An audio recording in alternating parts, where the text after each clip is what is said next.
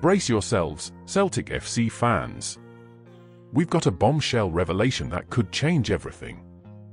Hey, Celtic family. Welcome back to our channel. Before we dive into the explosive news that's about to drop, make sure you hit that subscribe button and ring the notification bell so you never miss out on exclusive content. Trust me, you won't want to miss what's coming up.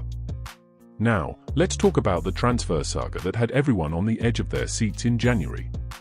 Brendan Rodgers was on the hunt for a striker to support Kyogo Furuhashi, and the search led to some unexpected twists and turns.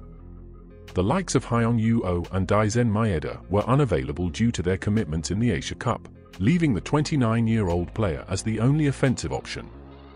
Rodgers eventually secured the signature of Republic of Ireland international Adam Idah from Norwich City on deadline day.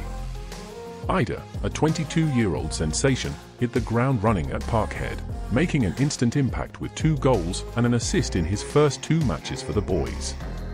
But hold on, there's more. Throughout the month, several other names were linked to Celtic, including Sydney van Hooijdonk, Mathias Kvistgaarden, and Lawrence Shankland. However, one name that stood out was Aberdeen striker, Bojan Miovski, Miovski, a 24-year-old Macedonian forward, caught the attention of the Hoops with his impressive goal-scoring record. Speculations were rife that Celtic was keen on bringing him to Glasgow after closely monitoring his performances. In a recent interview, Miovski acknowledged the rumours, expressing his happiness at being linked with Celtic, Rangers, and Southampton. But what does the future hold? That remains uncertain. Stay tuned because we've got an exclusive interview snippet where Miovski discusses his connection with Celtic and Rangers, and sheds light on Aberdeen's historical significance in European competitions. Before we get to that, let me hear your thoughts. What do you think about Celtic's transfer strategy?